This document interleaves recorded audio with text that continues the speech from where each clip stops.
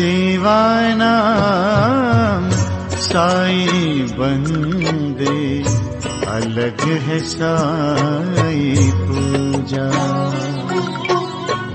सेवानाम साई बंदे अलग है साई पूजा। हर जीवा में साई बसा है हर जीव। साईं पूजा चैनल के सभी साई भक्तों को कोटि कोटि प्रणाम। इस बार मैं हम्म, दिसंबर माह में गया था। तो जब भी मैं शिरडी जाता हूँ तो बाबा से प्रे करके जाता हूँ कि बाबा ये काम मेरा करवा दीजिएगा। और वहाँ जाते ही, सिटी जाते ही वहाँ मेरी मनोकामना पूर्ण होती है। पिछले बार भी मैं जब सिड्डी गया था पिछले दिसंबर माह में 2021 में तो यहाँ सोच करके गया था कि बाबा, आपका तीर्थ जल मुझे मिले। और जिस होटल में मैं ठहरा, वहाँ के अंकल जी से मैंने बोला कि बाबा का तीर्थ जल चाहिए। तो अंकल जी ने बताया कि मेरे ही दोस्त के घर से वो बाबा का तीर्थ जल जाता है। साठ साल से गर्म ठंडा पानी, गर्म ठंडा पानी वहीं से बाबा का मंगल स्नान के लिए जाता है। और वह जल मुझे प्राप्त हुई, जिसका सेवन मैं आज भी कर रहा हूँ। उसी क्रम में, साईं पूजा चैनल में, पूजा दीदी के चैनल में, मैं ये अपना एक्सपीरियंस शेयर किया था।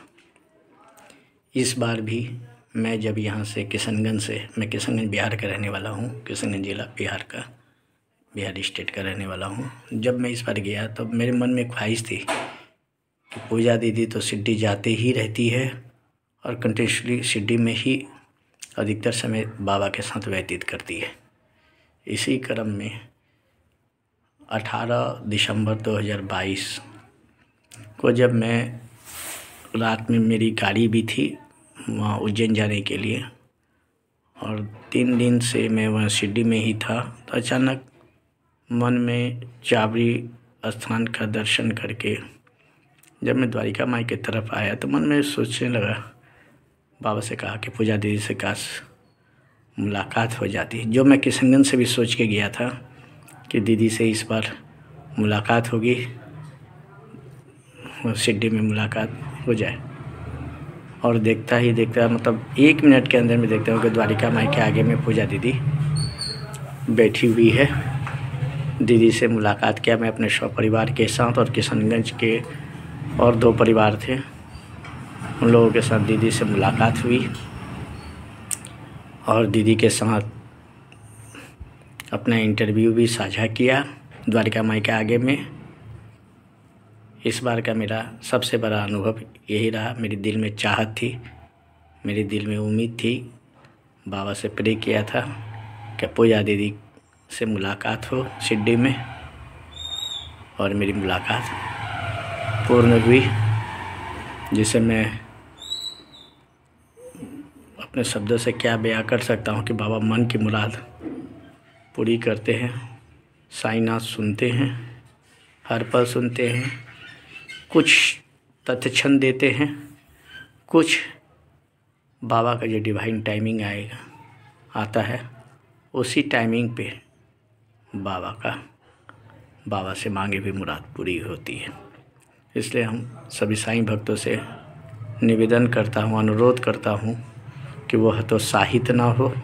बाबा सबके सुनते हैं, बाबा सबकी आस पूरा करते हैं। बाबा के दर से कोई खाली नहीं गया है, और नहीं जाएगा ये सृष्टि जब तक रहेगी, तब तक मेरे साईं बाबा का आशीर्वाद सभी पर बना हुआ रहेगा। सबकी कामना पूर्ति होगी, सबकी मनोकामना पूर्ण होगी। बाबा सबके अंग संग रहते हैं, हृदय में वास करते हैं, मन में विराजते हैं कदम कदम साथ चलते हैं, हाथ थामे हुए रखते। बाबा दया के सागर हैं, दयामयी माँ है साईं, सारा जहाँ है साईं। बाबा हर पल अपने सभी पल पल बाबा हर क्षण सभी साईं भक्तों पर, सभी पर कृपा करते हैं। बस महसूस करने की आवश्यकता है। बाबा अदृश्य रूप में किसी न किसी रूप में किसी को भेज के अपने सारे कार्य करवा लेते हैं।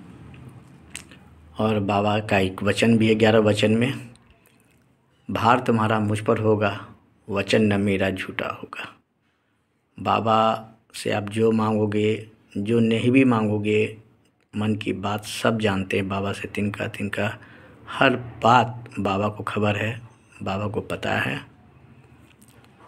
और साईनाथ की कृपा से ही आज साईं पूजा चैनल में मैं सिड्डी जो गया था, उनकी वीडियो साझा हुई। आज दीदी के ही, से ही बहुत सारे साईं भक्त मुझे भी जान पा रहे हैं। ये बाबा की ही कृपा है, बाबा के ही द्वारा ही रचा हुआ ये लीला है। और अनेकों अनेकों ज़िंदगी में बाबा का ऐसा ऐसा लीला जिसकी अगर मैं पूरी पुस्तक भी लिख दूँ तो भी कम पड़ जाएगा। अगाध सागर है, बाबा की लीला लीला का न कोई पार पा पाया है, न पार पा सकेगा। ओम शाही राम।